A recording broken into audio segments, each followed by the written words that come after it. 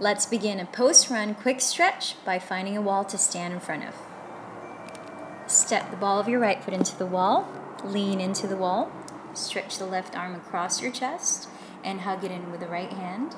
Soften the shoulders down, and so the more you lean into the wall, you can adjust the stretch in your right calf, and then the switch. Ball of your left foot on the wall, cross the right arm in front of your chest, hug it in with the left arm, and try to relax the shoulders here. Leaning into the wall, breathe. Nice. And then release. Let's step your feet wide apart, parallel your feet, straighten the legs, clasp your hands behind your lower back. Inhale to lift the chest, exhale, forward fold. So hugging your elbows together, rotate the shoulders open, shift your weight so that it's evenly balanced between your heels and toes. And relaxing your neck, just let your head hang here. Lift the shoulders away from your ears.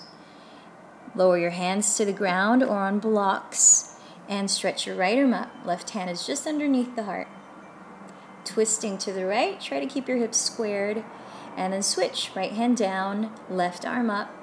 Elongate the spine as you breathe in and keep the hips squared, twisting as you breathe out, just along the waistline.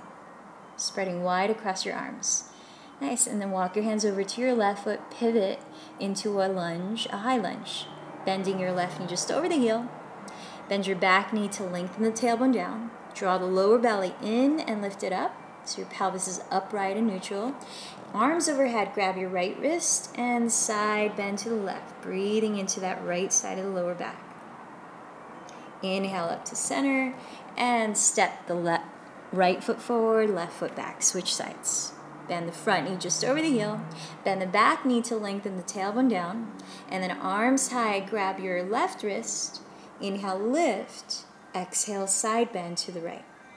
Getting into those deep lower back muscles and the sides of your spine. And then plant your hands, step back, downward facing dog. Great stretch to open up the entire back side of your body. Take a few deep breaths here, and then shift forward to plank pose.